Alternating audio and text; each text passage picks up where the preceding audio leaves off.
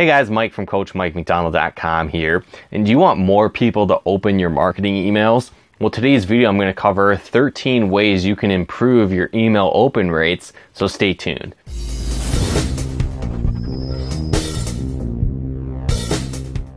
So again, why email open rates are very important is because if you're marketing your product, marketing your business, and you're sending out email broadcasts, but nobody's opening them, you know, that doesn't really matter. I, I, look at it like the concept of, you know, if a tree falls in the woods and no one's around to hear it, doesn't really make a sound. And it's very similar with email marketing because if you have a list of 10,000 people, maybe only 100 people open, is it really that effective? But if you increase that to maybe get a thousand people to open, that's a huge deal, right? So even just a one or 2% increase can make a big difference. And so today's video, again, will be 13 tips to improve your open rates for your email. So let's get into it. All right, guys. So one key thing that you really want to do to increase your email open rates is to actually send them out based on your subscribers' time zone. Because if you're building your business online, you're probably going to get email opt ins all over the world, right? People in different countries, different time zones. So, for example, if you're sending an email out, it might be you know 7 a.m your time but it might be 3 in the morning for somebody else or again vice versa so ideally what you want to do is come in here uh, to your settings so what happens is typically you're going to set up an email list and then have a drip campaign that goes out or basically an email series or a series of emails that go out to new subscribers so when you do that it's just under messages here in Aweber, and then scroll down to legacy follow up series. And so this is just one of the lists that I have. And so what you can do is you'll actually come here. Now, the first email, typically you're going to want to have that be sent immediately. So if somebody opts into a training of yours, you have that go out right away, right when they do it. So again, they're going to get access to basically whatever it was that you promised them. So your ebook, your video series, your audio training, your PDF guide, right? Whatever it is that you're using as your lead magnet, you want to make sure that they get that right away. So the first one's immediately, so you don't really need to worry about that. But from the next ones, you actually want to just come here to settings. And then from there, you're just going to want to make sure that you have this checkbox selected. So send messages based on each subscriber's local time. So that's very important. Now, what's cool if you have a, a huge email series, you can go through and actually do this manually if you want, or you can just actually click this button here where it says applies these days and times to all messages on the list. So typically, you know, you're going to want to have it set to any day, any time, because again, you're probably doing business internationally if you're marketing your business online. So ideally, you want this based on when somebody actually subscribes to your list. So this aspect again will instead of doing Monday through Friday, well, you could technically do that if you want to. Um, I just have it sent uh, based on when they actually subscribe. So it'll be sent out a day later. The next one is a day after that. The next one's the day after that, accordingly. So again, you click those settings, you save that, and now it's going to actually apply this aspect of basically sending it in the local time to each person right? Uh, so that's very powerful. The second thing you want to pay attention to is using your subscriber's name too much or even using it in general. Now, there's different trains of thoughts on this. Sometimes people say that you do want to use the person's name because it's going to build that know, like, and trust factor. Some people say a lot of people will put in fake names. So it can be a deterrent because you're sending out, you know, an email that says, hey, you know, spam email one two three how's it going right? So if they put in a fake name it doesn't really build that trust and rapport because they know that you're just using an automated name placement. So you know how do you do this right? So if you're actually creating a new message here we'll just drag and drop email. Kind of the default even has this in place but when you're writing out an email you can actually come in and then this here right where it says first name underscore fix is basically how you can do that. Now, if you want to have this in your email, you can do personalize subscribers info, and then you can put whatever you want here. So their first name, their last name, their full name, first and last name. Um, you know, different options that you can do. Now, again, the thought process behind this, if you use their name, it can build trust, can build rapport. Uh, it, they, a lot of people will think that it's, you know, again, specific to them. So then they'll open it. But again, if you have people entering fake names, fake emails, or maybe they just don't, enter a name. Again, this could uh, come out weird if you have a fake name showing up in the email, right? So uh, it's kind of a personal preference, but something to understand too is just not using the name over the top, like way too much. Every single email that you send out, you know, having the subject line being their first name every time. So you use this sparingly it's going to actually draw a lot of attention to that specific email. You know, I think of it, I used to bartend and serve way back in the day. And so, you know, a lot of times you go up to the table and you're like, hey, my name's Mike. I'll be, you know, waiting on you this evening or whatever you might say. And then you always, every now and then, would get that table, that guest that would just use your name every single possible chance they could get, right? They probably want read How to Win Friends and Influence People. You know, name is the most important thing to a lot of people, you know, saying that. When you say it too much, you come off as a creeper and a weirdo, right? So then there'd be people like every time you're at the table, they're like saying your name, they're calling you out by your name. And it's just really weird, at least from my standpoint, where I'm like, I don't really know you you're just a stranger and you're using my name just over the top constantly. Like my friends don't even use it that much. So it's just a little weird and excessive. So you want to have the same idea um, when you're actually sending emails to not use it way, way, way too much, uh, but use it sparingly when it when it's appropriate. Another thing that you want to do is actually use shorter subject lines that also build curiosity. So a lot of times I see people they have huge subject lines. They don't even fit, you know, when you see it in your email uh, inbox there. So make sure that your subject line is short, it's to the point, but also creates curiosity. So I might say something like, "I can't believe they did this."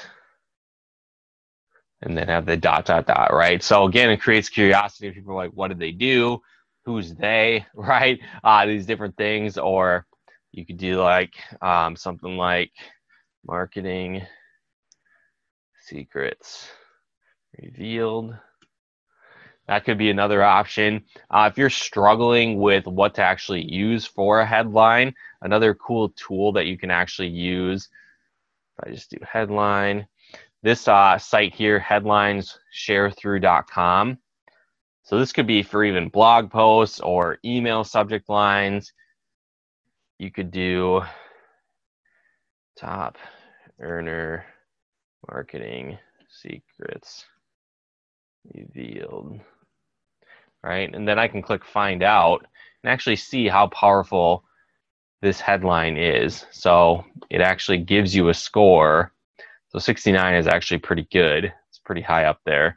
And then what's cool, it actually tells you a little bit more of how you can even make it better. You know, increase the headline length, where's the brand, use more alert words, talk about the body, try adding a celebrity. So again, some of these aren't really going to fit necessarily for your brand, but you can test and track and see what works. So top earner marketing secrets revealed.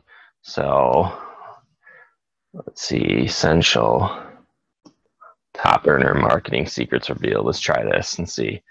Cool. See, now went up to 71. So it's a little bit better of a headline that is going to draw more attention, draw more people in. So if you're not sure what your headline should be, come to this site here again headlines.sharethrough.com and mess around with some different options that could work well to get people to open your emails. Because again that's kind of the the first thing that they're going to see is that email subject line. So make sure that it hooks and it draws them in along with this tip number four that you can use to increase your email open rates is actually checking the spam score of a specific email so once you've saved the email here it's going to take you to the next screen and you can actually click here where it says spam score.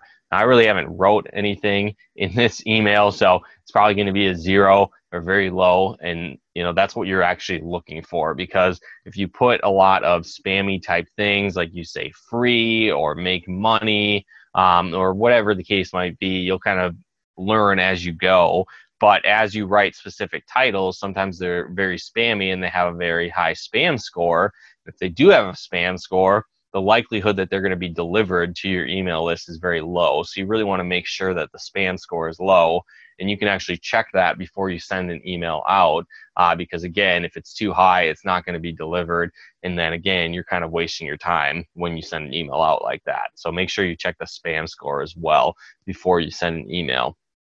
Along with actually writing emails as well, uh, tip number five is that there's going to be basically a character limit that you actually see uh, with emails. So let me just hop over in Gmail here real quick.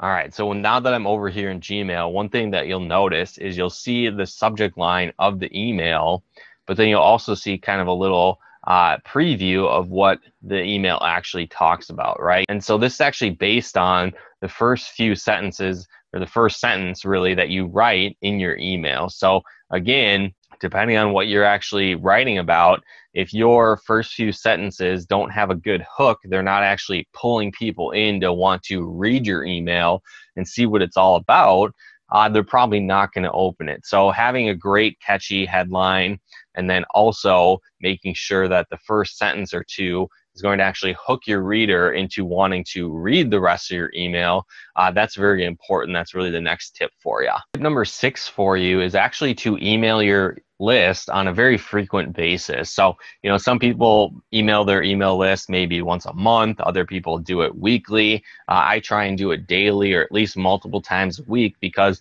the more frequent that you can actually email out, the higher likelihood it's actually going to kind of pre sort your list for you one thing I find with people just getting started with email marketing is that they get really worked up or worried about uh, if somebody unsubscribes from their list. And that's actually kind of a good thing because those people aren't a part of your tribe, right? So if they don't want your free content, they don't like the value that you're actually putting out there, that you're helping them get better results in, in their business, their fitness, and their health you know their makeup their video games right? Whatever it is that you promote and help people with. If they don't like your content that you're emailing out uh, the likelihood that they're going to actually buy from you is very low. So when people actually unsubscribe that's a good thing. So when you email out on a, a frequent basis preferably every few days or even daily what happens is as people unsubscribe, it just keeps narrowing down those people that are subscribers that do love your content, that are raving fans. And that's really the ideal market you're looking for because the larger that list grows of highly targeted raving fans, the more likely it is that you can write an email and drive a ton of traffic somewhere, that you can write an email that's going to lead to a bunch of sales for your business. It's going to lead to a bunch of signups. That's going to lead to new clients, new uh, customers for you, right? So the more you can segment and hone in that list, the better. So don't worry about people unsubscribing.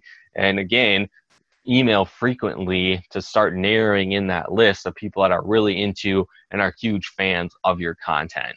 This will again help you really increase the open rates of your emails. Now, tip number seven, if you haven't noticed already, one of the main tools I'm using is an email autoresponder. So I would highly recommend having an email autoresponder like Aweber. It makes things a lot more easy, a lot more simple. Uh, it's a great way to create leverage in your business because you can set up these email series on autopilot. You can write one email once and it broadcasts out to a mass amount of people. So again, very powerful resource, very powerful tool to have. So there's great ones out there, you know, things like Aweber, like GetResponse. You know, as your business grows, you might tap into Infusionsoft.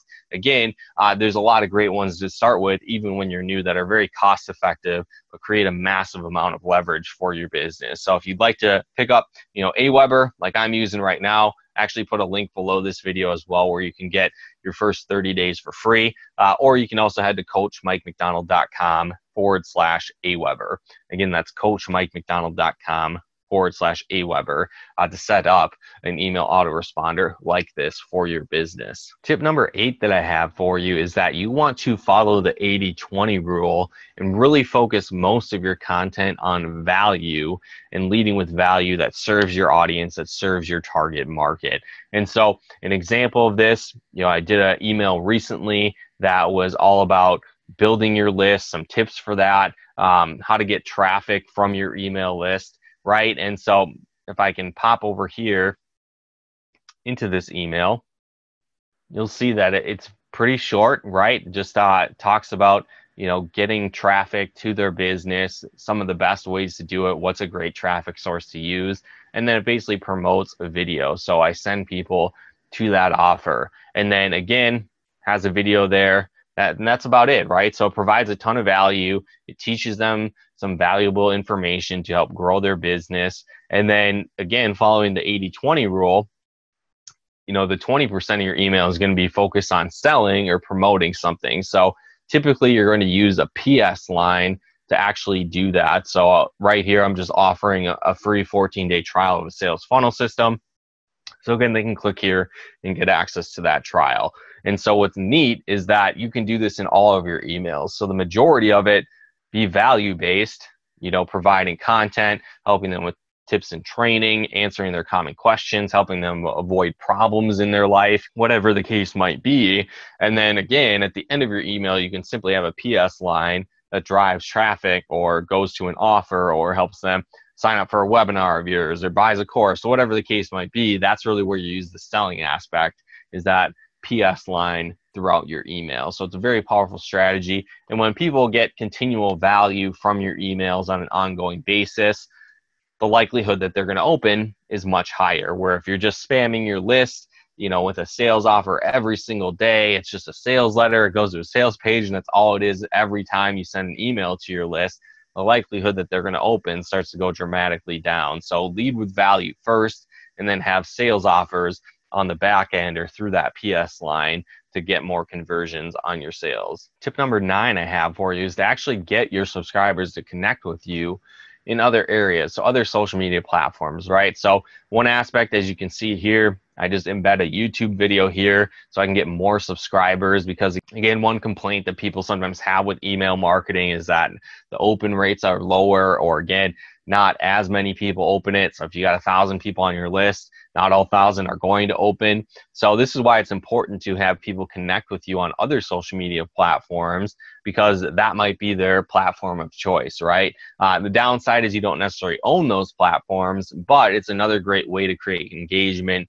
Uh, have you be kind of omnipresent uh, in their world when they connect with you on all these other different social media platforms. So they might miss an email here or there, maybe not open those, but if they're seeing your new videos come out on Facebook. They're seeing you do Facebook Lives. They're seeing your new YouTube video come out. They're following your lifestyle on Instagram, right? There's all these other avenues that can get them re engaged with you, re engaged with your content. And then again, that can also increase the rate that they actually open your emails. So if they're following you on Facebook, on Instagram, they like your lifestyle, they like the value you're providing on other social media platforms, the likelihood that they actually open their your email or again when they do the likelihood that they that they take action is much higher as well so make sure that you uh, have people connecting with you on other social media platforms i also give people the option here um, in my description or basically the signature of the email giving them options to connect with me on other social media platforms like instagram um, my blog, Facebook, Twitter, etc. So that's another great option that you can do to get people to connect with you. Or again, that could even be your PS line from time to time. You know, hey, have you subscribed to me on YouTube? You can subscribe here to get more tips and training. Or if you want to check out some of my great pictures? Follow me on Instagram here. So it's another different great option you can use to start getting uh, people to connect with you on other social media platforms. Tip number 10 that I have for you is to make sure that your content is easy to read. So what does that mean? Well, one thing that you want to do is make sure that your font is actually big enough for people to read. So when you write a new email, you just want to actually change the font setting. So typically it starts off at like a 10 or 12, uh, somewhere in that range of the font size. So increase that to like a 15, 16, 17, 18, something like that, a little bit higher so it's a little bit easier to read. Um, you know, have maybe a sentence or two max, and then have a space between it. You want it to be easy to read for people.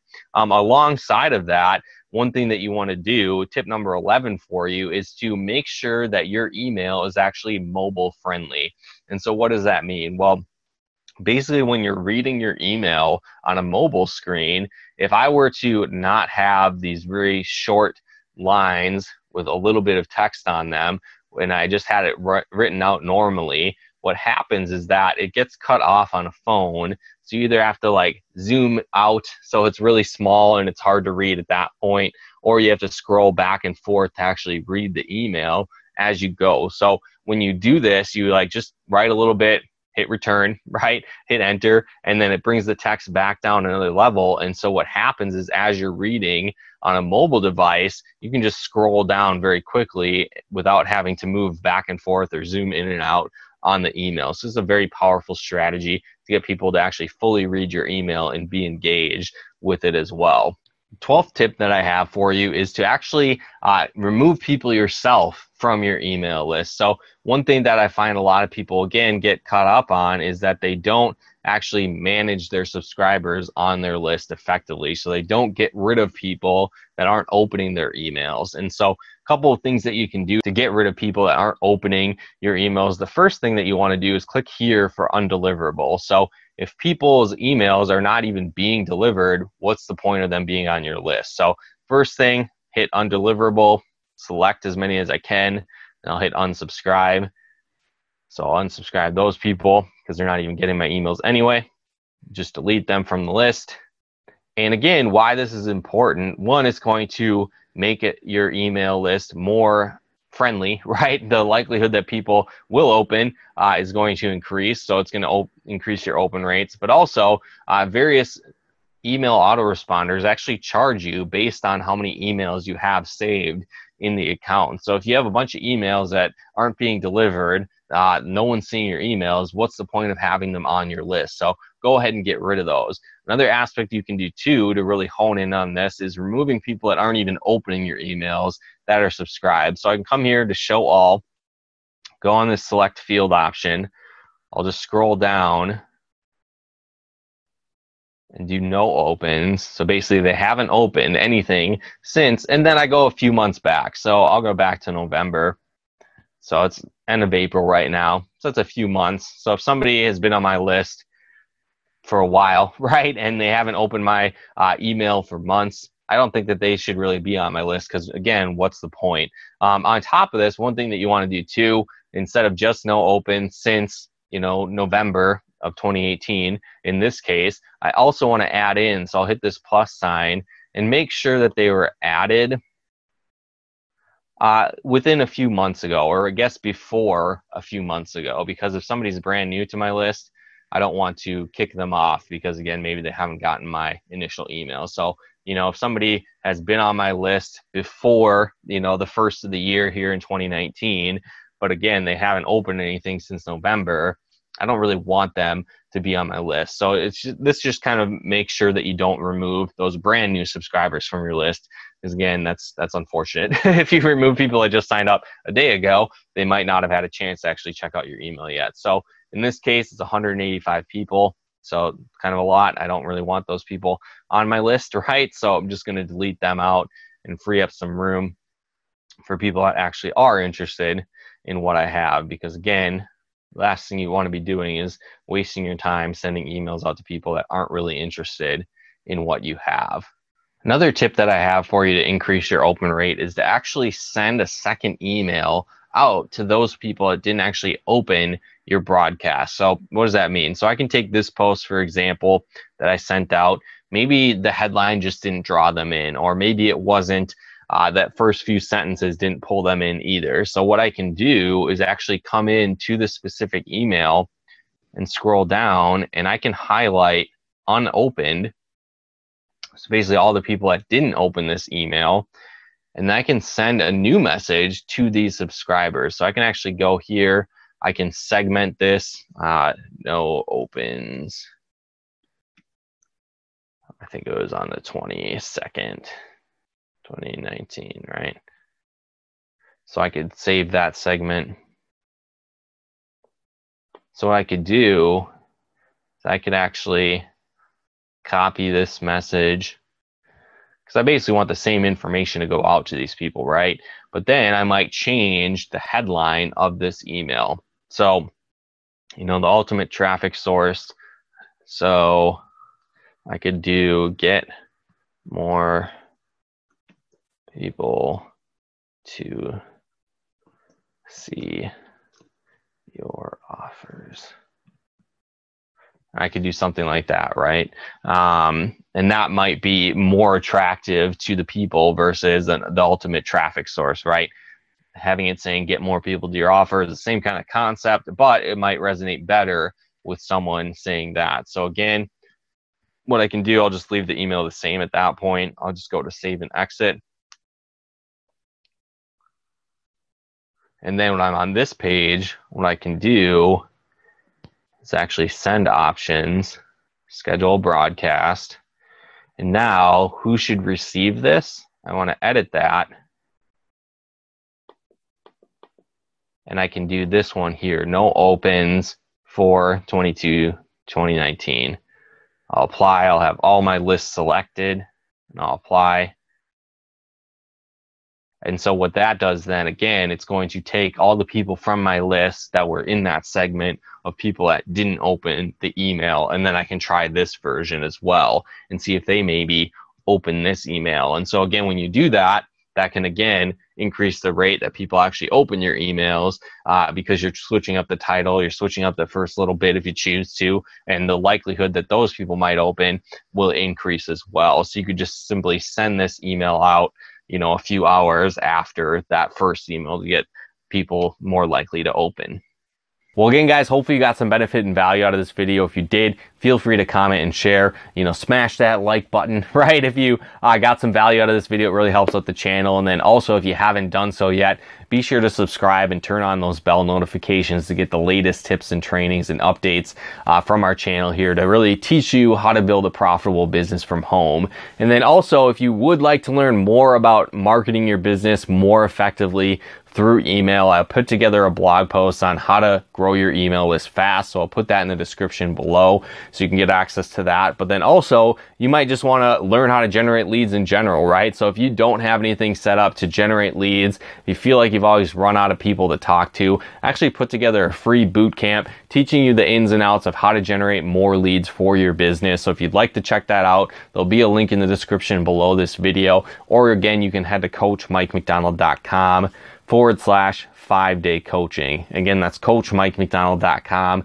forward slash five day coaching to plug into that free boot camp to teach you the ins and outs of how to attract more leads and sales for your business online. But again, guys, thanks so much for tuning in. We'll talk to you more soon.